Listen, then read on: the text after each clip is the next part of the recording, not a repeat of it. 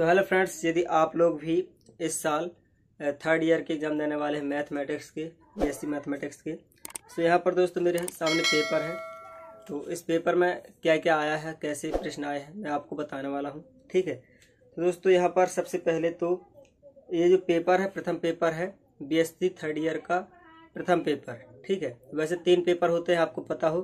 तो ये प्रथम पेपर है फ़र्स्ट पेपर तो इसमें जो क्वेश्चन है जो टोटल आया हुआ है एम एम एम एम है ये फोर्टी नंबर का, ठीक है? तो ये चालीस नंबर का टोटल पेपर है और इसमें कितने क्वेश्चन है ये भी मैं आपको बताऊँगा। इसमें आपको पास कितने से होना होगा? तो यहाँ पर आपको PM passing marks minimum passing marks M P M कितना है? तेरह नंबर का, ठीक है?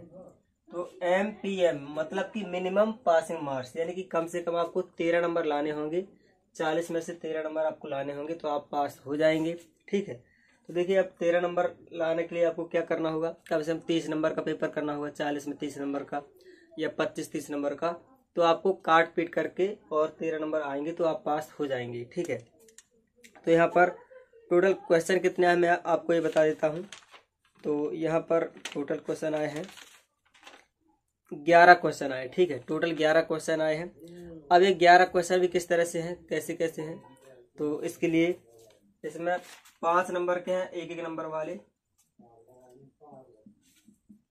ठीक है? ये पाँच नंबर के आए हैं। तो पाँच सवाल हैं ऑब्जेक्टिव वाले, सही विकल्प वाले, जो कि एक एक नंबर के आए हैं, पाँच नंबर के। और दूसरा सेट है तो इसमें आए हैं, पाँच क्वेश्चन आए हैं। दो दो नंबर के। कितने क्वेश्चन है देख सकते हैं। मैं आपको देख के बता देता हूँ। तो पाँच क्वेश्चन है दो दो नंबर की लघु उत्तरी प्रश्न। दो दो अंक के हैं। ये भी पाँच नंबर ठीक है तो ये पाँच दूनी।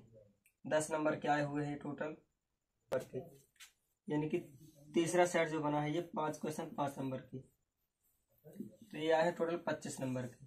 तो पच्चीस टोटल चालीस नंबर का पूर्णांक आपका आया हुआ है पेपर ठीक है? इस तरह से जो क्वेश्चन है, इस तरह सेट किए हुए हैं नंबरों के हिसाब से तो आप देख सकते हैं दो हज़ार बाईस, तेईस का पेपर है ये। और यदि आप इसे डाउनलोड करना चाहते हैं तो मैंने लिंक दे दिया डिस्क्रिप्शन पर तो आप इसे डायरेक्ट जा करके डाउनलोड भी कर सकते हैं। और देख भी सकते हैं